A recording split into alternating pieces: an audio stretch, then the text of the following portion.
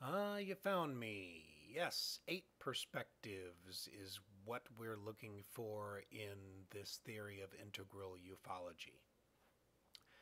Number one, the first perspective is the reporter telling the truth. That's the question you need to examine as an evaluator. Number two, you need to discuss what makes you, as an evaluator, believe that. Number three, is the reporter being influenced by their culture and background? And number four, what brought you to that conclusion as an evaluator? Question number five, or perspective number five, can we measure or verify what the reporter claims to have seen with all the ways in which you might be wise in the ways of science? And number six, how wise are you in the ways of science to know that? Perspective number seven how reliable is the story in terms of having other witnesses? And number eight, what makes you as an evaluator believe or not believe these other witnesses? Or what makes you believe that it might be a hoax? This, in my mind, is a complete report. A report that unfortunately no volunteer field investigator has the time or inclination to complete, I, however, did attempt it myself with a simple case in Lincoln that STAR team members John Powers and Dave Perez investigated, and then again applied this approach to one case example from the work of John Foster, who has documented a number of very complex experiences in his book Eminent Discovery, available right now, actually, as of yesterday, at Amazon.com. Eminent Discovery, and he has To Earth from Heaven uh, also can be seen at fosterufos.com.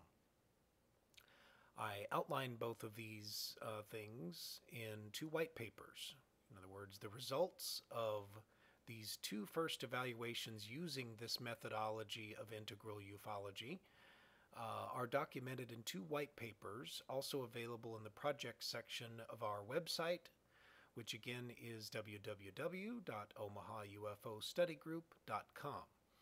It did, I promise you, take a heck of a long time, but I did learn a great deal from the exercise and am here to recommend it. To conclude here, let me summarize again the subtitle of this talk Integral Ufology Self, Culture, and Nature Perspectives on the UFO ET Phenomenon. Because these perspectives are none other than a good summary of the entire history of philosophical and philosophy, essentially discourse, that is, art, morals, and science. What I mean by self is the I, the subjective perspective, the biography of the reporter and their intentions. What I mean by culture is the we, the intersubjective, the background of the reporter. What I mean by nature are the it and its, plural, the scientific and measurable components to report, its being down here, all the ways in which these things interact.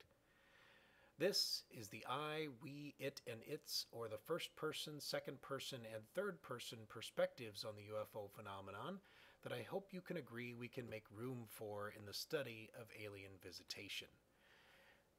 This concludes the first half of this presentation.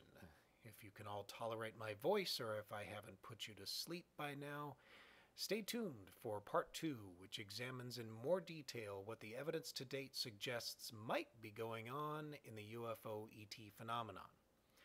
In conclusion, I'd like you to remember our tagline from the radio show that is, the Spooky Action at a Distance radio program on HD radio in the Omaha vicinity or at mavradio.com. Our tagline is It's not the destination, it's the journey. Special thanks to John Powers, Dave Perez, Kyle Finley, and Matt Judah, my sparring partners on the radio program, who allow me to play the role of the trickster now and again. Uh, I'd rather think of myself as a theoretical ufologist. If you'd like to hear some of these heated debates on the radio program as if we were in the same room with you, they are available for free download, again at www.omahaufostudygroup.com. Thank you for listening, and stay tuned for part two where it really heats up. And I get into the idea of should we be afraid? Should we not be afraid? What does Stephen Hawking have to say? Thank you for listening again. Look forward to hearing your comments posted.